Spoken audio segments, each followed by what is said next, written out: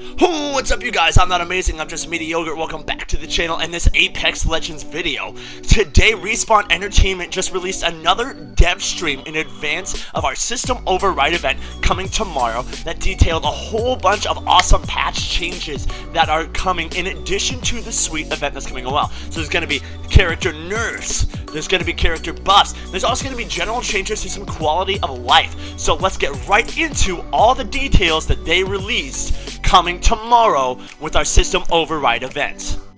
First up, we have a Bloodhound buff. At the start of the season, they already gave Bloodhound a buff by giving you the ability to increase your Beast of Hunt time with every kill you achieve. And now, they're also going to increase the power and utility of Bloodhound's Eye of the All-Father ability. You actually can see this inside the trailer as Bloodhound uses that ability. You can see it's massive. And in the dev stream, they actually specifically said they tripled its size. And the intent of this change is that it's a pre-fight kind of information gathering tool. The idea is that you walk up to a town or a large building, and then you use the Eye of the Allfather to get an idea of where the people might be in that area. Because it's now so massive, you will be able to see the entire town with one single ping.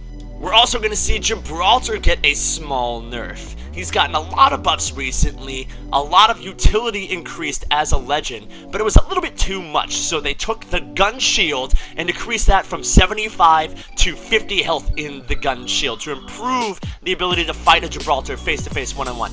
Not exactly the change I was hoping for. What I really would like to see is the damage absorbing capability doesn't seem like they changed it, but no matter what kind of damage you put into that shield, it absorbs all of it. So you can crack him with a Kraber for 145 damage, and it will all go into the gun shield, and none of it will actually pass through to Gibraltar himself. And that's actually the change that I want to see. I want to see his gun shield no longer able to absorb a full Kraber shot and just wipe it off like nothing happened.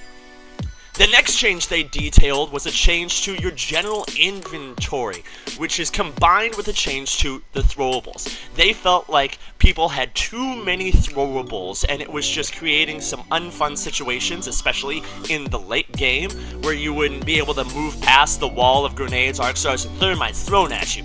So what they did was decrease the amount of throwables you can carry in a stack. It's no longer two throwables in a stack, it's one throwable per stack. So you can carry one Arc Star in a stack, one Thermite in a, an inventory block, but what they did to counterbalance that is actually increase your standard backpack size by two. So instead of starting with eight backpack slots, you will now start with 10 backpack slots, and every backpack you get will increase that by 2, so you can get up to 12, 14, or 16 backpack slots with the purple or gold backpack. In addition to that, they adjusted the stack size of a few other items. Your syringes and shield cells will only stack to 4 instead of 6.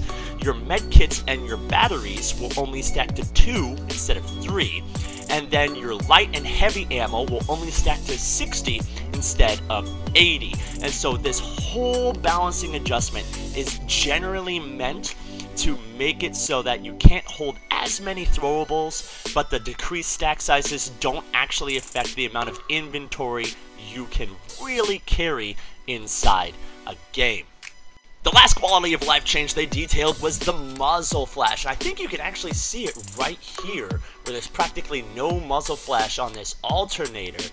Apparently, it was actually a, a, pretty difficult change to make because the way the muzzle flashes render changes depending on the lighting of the environment, whether you're outside, the inside, and all that stuff. So there was actually a lot of adjustment that had to happen in order to make that change successful. But we should all be noticing less muzzle flash while playing the game, and that'll make it easier to actually see your targets while aiming down sights and land those shots.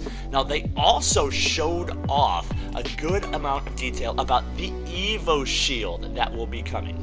This brand new loot item will start weaker than a base white shield at 25 extra health, but can increase to stronger than a purple or gold shield, giving you an extra 125 health once fully evolved. And they actually showed off exactly how much damage you need to do that in the trailer. right there you can see the first evolution takes 100 damage to achieve.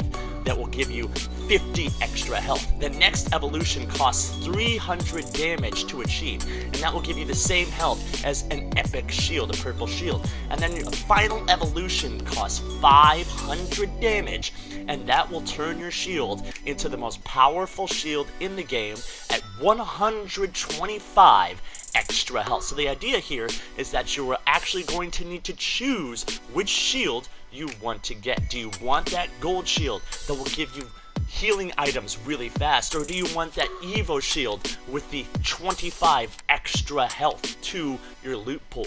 That's a choice you're going to have to make. And you can pick these up fully evolved from somebody else's body. So if you manage to kill somebody who already has a fully evolved red Evo shield, you can totally swipe that from them and not have to do any of the work that was required. Now the purpose of this new loot item is a little bit twofold. It's supposed to help reward those hyper-aggressive players that are always pushing, always putting out damage, and give them a reward for all of the effort that they put in. But it's also for our long-range snipers. It gives you a reason to actually poke out and try to do damage at long range in battles that you might not even be a part of.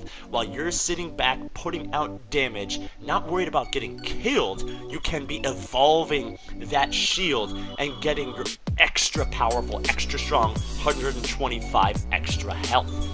So we got a big old patch coming tomorrow. It's gonna come with some nerfs, it's gonna come with some buffs, it's gonna come with some general quality of life changes along with that brand new mode, 24 sweet cosmetics. I'm super excited for this system override event. This seems like, hands down, the best collection event they've ever seen. And make sure you like this video, subscribe to the channel, and watch Mediocre Gaming tomorrow morning because I'll be streaming it all live. In the meantime, I'm not amazing, I'm just mediocre, and I'm out.